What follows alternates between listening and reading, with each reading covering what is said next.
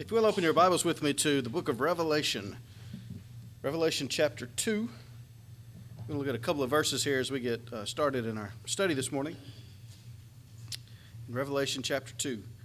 Uh, we're going to talk about the organization of the church uh, today. We're looking at the doctrines and traditions of men, a series of lessons uh, dealing with that subject. And so far, we've talked about two things. First of all, we, we talked about redigging the wells and the importance of going back to the source of truth. If we want to, uh, to be what God wants us to be, we have to go back to the Bible, nothing more, nothing less. In our last lesson, we emphasized the authority, uh, the standard of authority that we are to follow as Christians, and that is the Word of God. Nothing more, nothing less. And we kind of saw how in, in the, the, the, the drifting away from the truth that took place, uh, one of the fundamental problems was men abandoning the authority of God's word and putting their trust in other things, traditions of men being one example of those things. Instead of doing what God said, they started to do what men thought and, and what became a tradition of the church. And even though you couldn't justify it by the Bible, they said it was okay because we've been doing it for a long time, so it must be okay. And that's where we get into problems, and that's uh, you know the root cause of division when people follow different standards. God wants us to live in obedience to His standard, which is His Word, the New Testament. And one of the ways that that manifested very early in the history of the church had to do with the organization of the church. So, we're going to take a few minutes this morning and talk about God's plan for the church and its organization, the way that He set it up and what He intended for it to be. And then we'll look for a little bit about how man departed from that plan and we got to where we are today in, in so many ways. So I want to talk about God's plan for church organization. And, you know, sometimes people in the religious world talk about organized religion, and, and they, they, by that, mean, you know, different denominations following different standards of authority and what to do and what not to do. And the Bible is obviously against that kind of church organization. Uh, he doesn't want religion organized after the doctrines and traditions of men. But God's church is a real thing, and it is absolutely essential to man's salvation, and it is to be organized, that is, to be set up after the, the standard that God has given for it. And so there's a big difference between what is sometimes called organized religion and God's pattern of organization for His church. And I think that we can see that if we look at just how simple God set the church up uh, to be in, in its organization. So, the first thing we need to notice and to understand is that every congregation that we read about in the New Testament was locally autonomous. That is, it was responsible for its own government and, and management under the headship of Christ. There was no greater, when you think about the church in the New Testament, there was nothing greater, nothing any larger than or bigger than the local congregation. That's all that there were. So, for example, when we read here in Revelation chapters 2 and 3, Jesus is speaking to the seven churches of Asia or of Asia Minor. And John is writing down these letters. And you notice that as he does so, verse 1 of chapter 2, he says, Unto the angel of the church at Ephesus, write. And then he writes to that congregation, and you come to the end of that letter, and he says, of course, in verse 7, He that hath an ear, let him hear what the Spirit saith unto the churches. So this message applied to all of the churches, all of the congregations, but it was addressed specifically to the church at Ephesus. The same in verse 8 to the church at Smyrna, and it ends with those same words. Verse 11 He that hath an ear, let him hear what the Spirit saith unto the churches. And he does that in every letter. Seven congregations. We know when we look on a map that these congregations were in a very small, limited area, and it kind of forms a circle in the way that they're addressed in, in the book of Revelation. But you have seven congregations in a small area, but Jesus did not write to the bishop of the, of the diocese or of the, the province of Asia Minor and say, You, bishop, take this message to these seven churches that are in this region.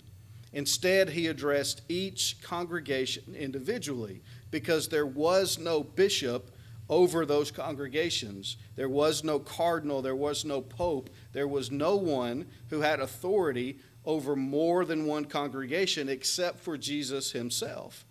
He's the head of the church, and then under his headship, each congregation was locally responsible for hearing his word and being obedient to it and the eldership of each local congregation was responsible for the teaching of that word and seeing that it was you know taught properly and that, that it was lived out in the life of the local church there was no organization greater than the local congregation and so you can see that with every church that we read about in the new testament we did a whole series a couple of years ago where we went through all the churches of the new testament and it's always a letter addressed to one congregation. And then they were to read it in the others, and it applied to them, but it was written to one, and then they were to make application in the others, just as we do today as we read the New Testament.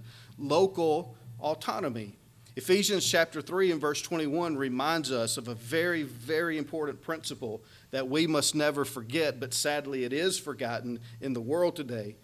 Paul says, Unto him be glory in the church by Christ Jesus throughout all ages, world without end. Amen. And there are two important things to notice there. One, there are those who say that the church is not important. All that's important is that you have a personal relationship with Jesus, and Paul differs with that. He says that Christ is glorified, God is glorified in the church by Christ Jesus because the church is his body. If we want to glorify God, we must be in the church. It's absolutely essential. And so to say that the church is not important is wrong. But the other thing that we need to learn from this is that the church is the only place where God is glorified. And that's all that's necessary. We don't need something bigger than the church, greater than the church, larger than the church to glorify God. All we need is the church. And there always seems to be a movement to create something bigger, to say that God's plan is not good enough. And sometimes men do it out of, out of very good intentions. They look at the world and they say, We want to be able to evangelize the world, but how can we do that? One little congregation here. We need a missionary society to do this work for us.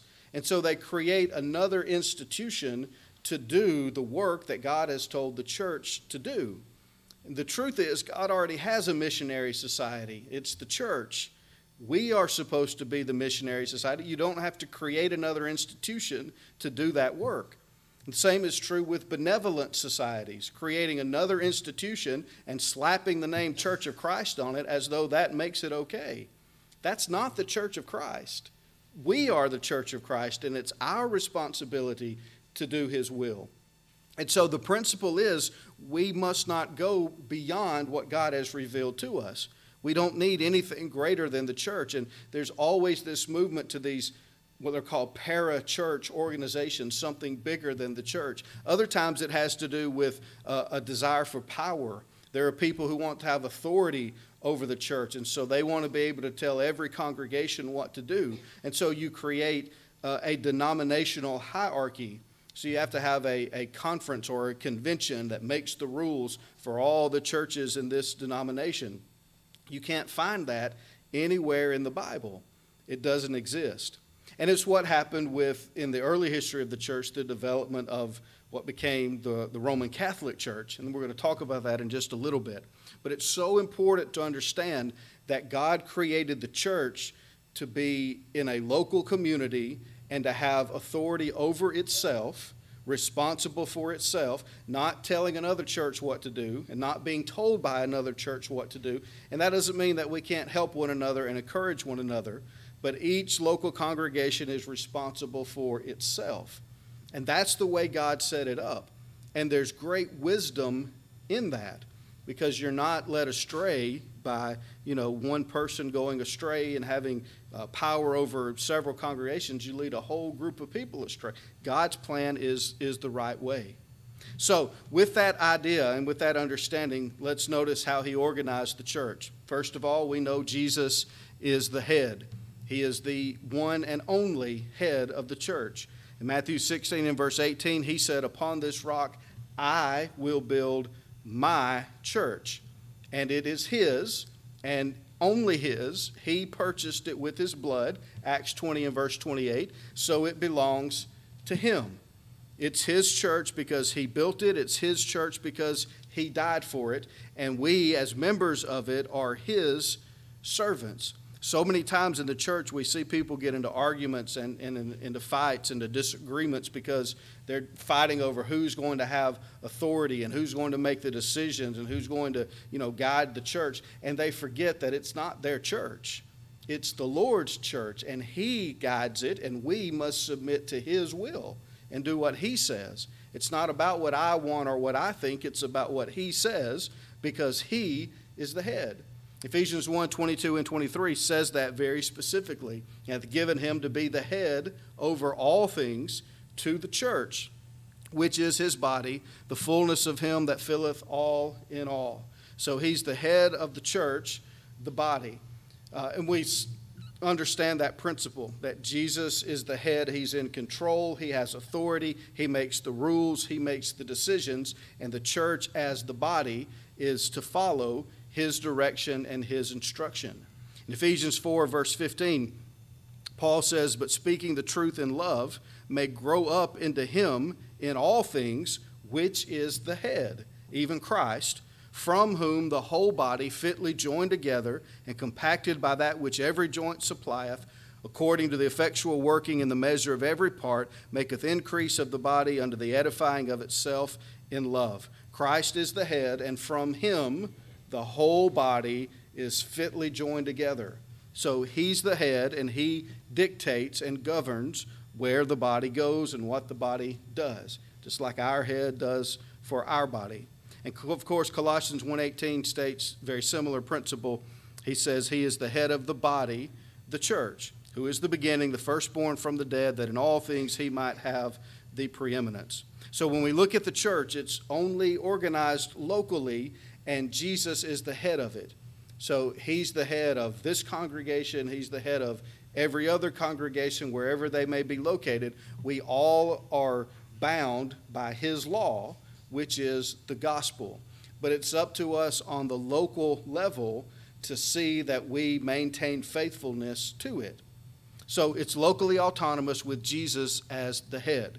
Now, in the local congregation, elders are ordained, and it's always plural, there's never just one elder, but elders, they have authority over the local congregation in you know matters of, of opinion where god has not you know legislated and said you must do this.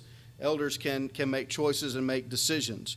They have authority only over the local congregation so the elders are not responsible for another congregation just the one that they are members of and that responsibility is under the headship of Jesus. So he's still in charge, and elders are under shepherds. They serve under the great shepherd in the carrying out of, of his will. So I'll read a couple of verses just to remind us of this. And I know we, we studied about elders not too long ago, but I'll mention just a couple of things in connection with it. Acts 14 23 says, When they had ordained them elders in every church and had prayed with fasting, they commended them to the Lord on whom they believed.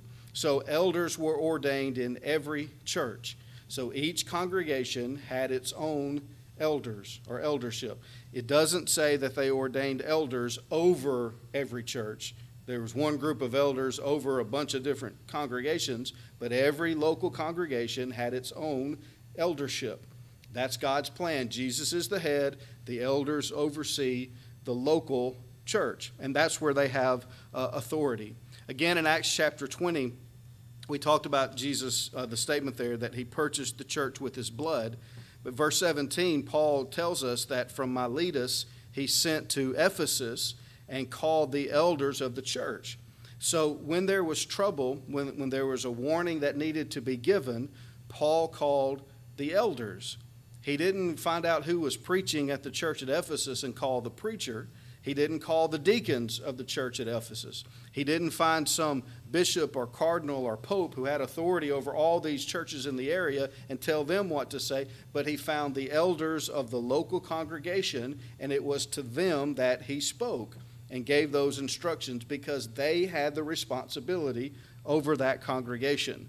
So it's local autonomy under the headship of Christ, now under the authority and, and the, the shepherding of the elders of the local congregation. And we know in verse 28, that's where he warned them. Uh, he says, Take heed therefore unto yourselves and to all the flock over the which the Holy Ghost hath made you overseers to feed the church of God which he hath purchased with his own blood.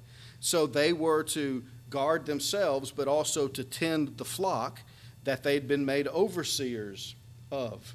And that was, was not the church at Galatia it wasn't the church at Thessalonica, it was the church at Ephesus, the church that they were members of. That's where they had authority. And so that's the warning and the instruction that's given to them.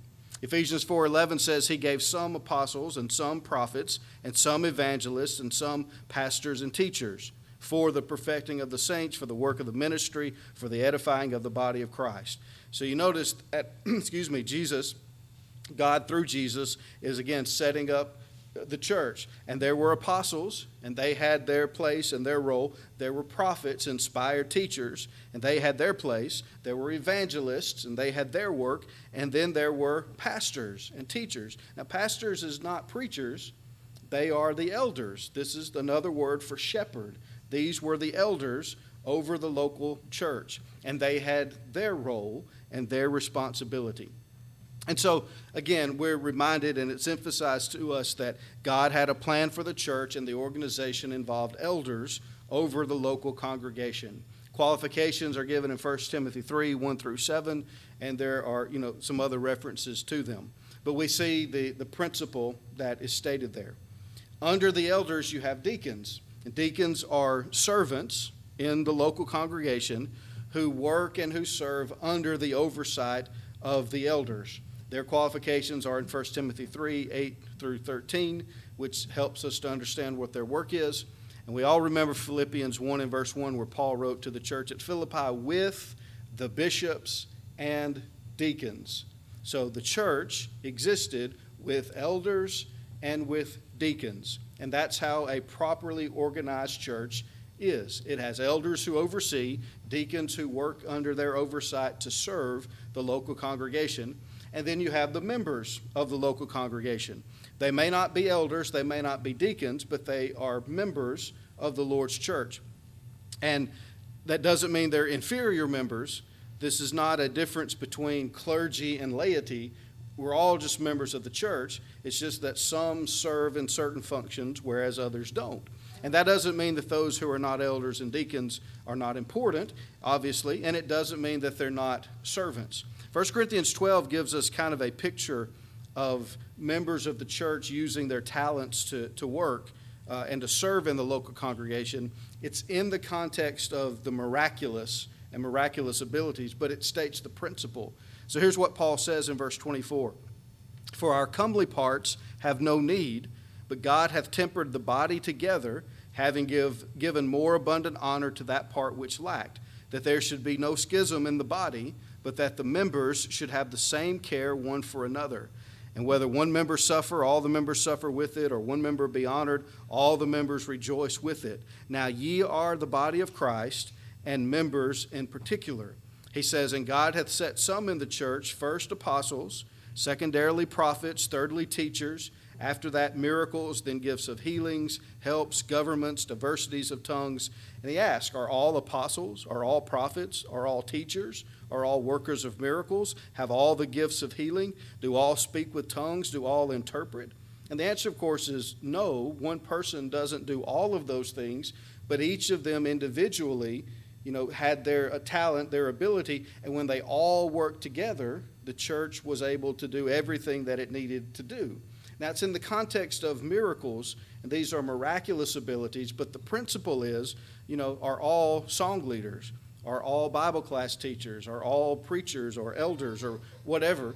We all can't be all those things, but we all have a role to fill and a work to do.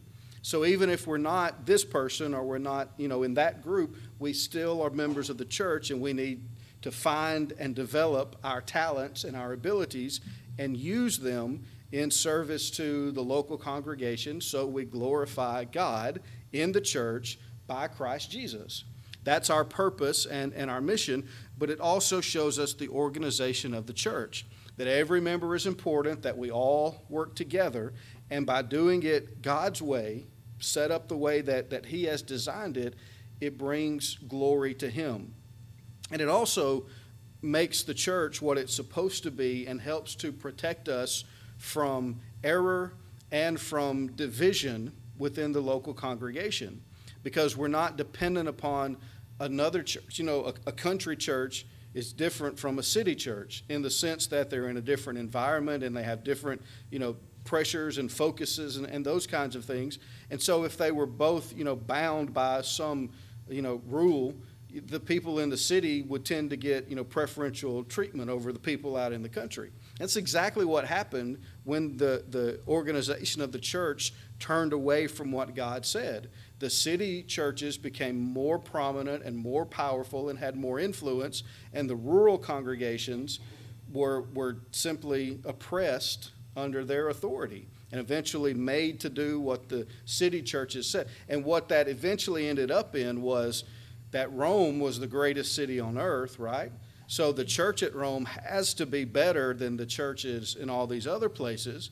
So the, the bishop of the church at Rome, he must be wiser and have more power and more authority than the bishop of the church of that little city over there or that country congregation out there. So the bishop of Rome becomes the pope. And he has authority over the entire church under those terms simply because he's in the city of Rome. They modeled the organization of the church after the Roman government. No authority for that in Scripture, but that's what they did, and it became, you know, a means of acquiring and, and maintaining power over others. And sadly, lasted for far too long in the history of the world. But that's the departure that took place.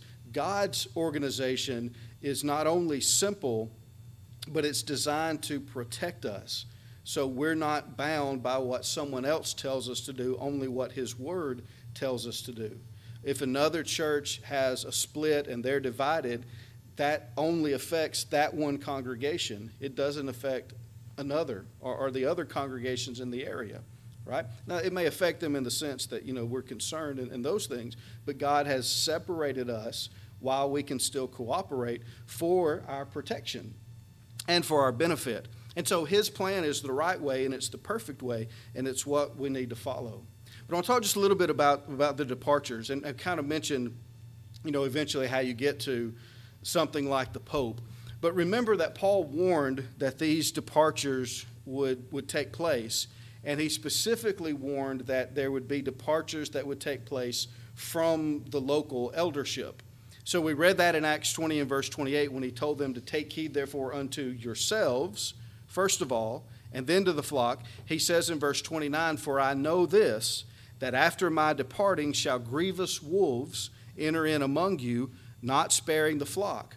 Then he says, Also of your own selves shall men arise, speaking perverse things to draw away disciples after them.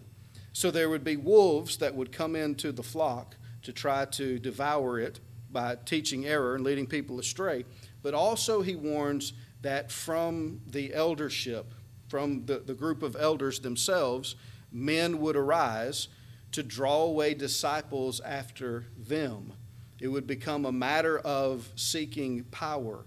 So one elder would want to be over the other elders. He would want to make the decisions for the congregation instead of the group of elders, just one person individually. And that's exactly what we see happen um, in, in the history of the church.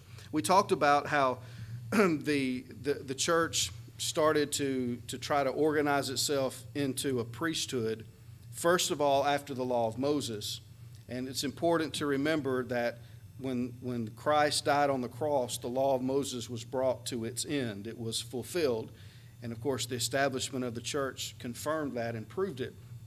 But there were many who wanted to hang on to that Old Testament system that Jesus had nailed to the cross.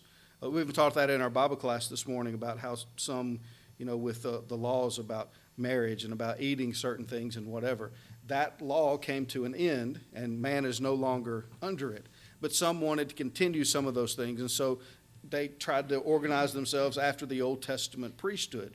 Well, eventually that wasn't good enough, so they, they shifted the organization from an Old Testament priesthood to a priesthood modeled after the Roman government, which had the emperor over everyone, and then he had, you know, those under him, and there were others under him, and they carried out the, the rule of the Roman government throughout all of the territory of the Roman Empire, with the authority ascending up to the emperor. Well, they wanted to make the church that way, and so that's what uh, they started to do, with, of course, the bishop or the elder, whatever, of the church at Rome being the head, uh, being the one who had final say and, and final authority over the church. So, just like the emperor was the supreme ruler of Rome, the pope became the supreme ruler of the church, the, the, the Catholic Church. And of course, you know, as we mentioned, Rome, the city of Rome, traditionally the center of the Roman government with power, then the bishop of that congregation would be in that prominent uh, position. So that's what happened. Now, before we go on to the rest of this, I need to take a minute here and mention to us and remind us that Peter was not the first pope. And that's one of the arguments that's made by uh, the Catholic Church that the reason they have a pope is because Peter was the first pope and there's a line of succession from Peter all the way down to, you know, whoever's pope today. And they say they can trace it back, which of course they can't because those kind of records don't exist because it never happened. Peter was never a pope or the pope. And so I want to mention a couple of things in connection um, with, with that. Excuse me. Peter, of course, obviously was an apostle of Christ, but he was not the chief apostle. And that's the argument that's made that there were 12 apostles, but Peter was elevated above the other 11. He was the chief apostle. You don't find that in the Bible, but that's the, the argument that, that's made. So tradition says that it's true, therefore it must be true. Well, the Bible teaches differently. They say that Peter was the chief apostle because he's always named first in the list of the apostles. And there are some lists of the apostles where Peter is named first. But there are also lists of the apostles where he's not named first. John chapter 1, verse 44, Galatians 2 9, for example. Peter's name is not always first in the list. So that argument doesn't stand up. Some say that he must have been the Pope because he's the only apostle whose name was changed by Jesus. That he was Simon and Jesus called him Cephas in John 1:42. What about Mark 3 verses 16 and 17? James and John were also called sons of thunder. Jesus gave them new names. Why are they not the Pope? Because, again, that argument doesn't stand up to scrutiny. Jesus didn't give him a new name so he would be the Pope, uh, but it had to do with you know, Peter himself and with his character. Some ask the question when Peter and John ran to the, the tomb, the empty tomb after Jesus was raised from the dead, the Bible says that John arrived first but he only looked in it. He didn't go in to the tomb. He waited for Peter. And they say that he waited for Peter because Peter was the Pope. And John couldn't go in the tomb until the Pope went into the tomb first. That's the argument. Where it comes from is purely from the minds of men. The Bible doesn't teach anything like that. We're supposed to believe that John was waiting on Peter because he's the Pope. And that's not true at all. The Bible nowhere indicates anything like that. But it's the links that people will go to to try to prove, you know, something that you can't justify from the scriptures. They say Peter preached the first recorded gospel sermon on the day of Pentecost, therefore he must have been the pope. But when I read Acts chapter 2 and verse 14, my Bible says that all 12 apostles were preaching on the day of Pentecost. It's true that Peter's sermon is the one recorded for us in Scripture, but that doesn't mean he was the only one preaching. He was the focus of the first part of the book of Acts until it shifted to Paul. And you know, when you take that argument, more of Acts is devoted to Paul than to Peter. Why is that the case if Peter were the Pope? Why do we have, you know, nearly the entirety of the epistles of the New Testament are written by Paul and only two are by Peter? Why is it that way if Peter was the Pope? There seems to be more evidence that Paul was than Peter, and not that he was, but if you're using their kind of reasoning and their thinking. On the day of Pentecost, all the apostles were baptized in the Holy Spirit. They all began to speak with other tongues. They all preached on the day of Pentecost. But didn't Jesus say that he would build the church on Peter? Matthew 16, 18, upon this rock I will build my church. The answer, of course, is that's not at all what he said. The rock that he was talking about was not Peter, but the rock was his deity, the fact that he is the Son of God, which is what Peter had just confessed. Thou art the Christ, the Son of the living God. In 1 Corinthians 3:11, Paul says, "For other foundation can no man lay than that is laid, which is Jesus Christ." The church is built on Jesus, it's not built on Peter. It's built on the truth that Peter proclaimed that Jesus is the Son of God. It's true that the word Peter means rock. Petros means rock. But Jesus used a different word. He used the word Petra, which is the feminine form of it, and it was not referring to Peter. It was referring to the rock of truth that came from Peter's mouth. They say, but Jesus gave Peter the keys of the kingdom of heaven, so he must have been the Pope.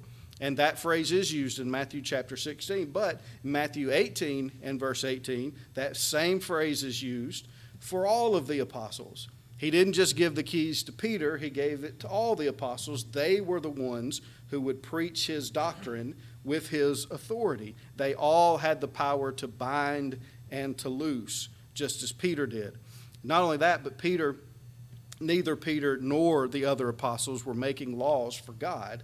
They were binding and loosing what had already been bound and loosed in heaven. They were just preaching the word by inspiration. What about John 21? Didn't Jesus tell Peter, only Peter, to feed his sheep?